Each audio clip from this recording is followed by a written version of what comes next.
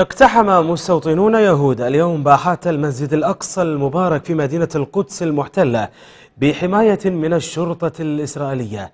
الاقتحام الذي شارك فيه حاخامات جاء من باب المغاربة المؤدي إلى ساحة البراق التابعة للمسجد. فيما قالت وسائل الإعلام الفلسطينية أن عشرات المتطرفين شاركوا في العملية عبر مجموعات حامتها الشرطة الإسرائيلية بشكل مكثف أثناء تجوالها في باحاته المختلفة. يشار إلى أنه خلال الأيام الأخيرة تزايدت الدعوات في أوساط الجماعات اليهودية المتطرفة إلى اقتحام المسجد الأقصى باعتباره جبل الهيكل بزعم إحياء أعياد يهودية فيها.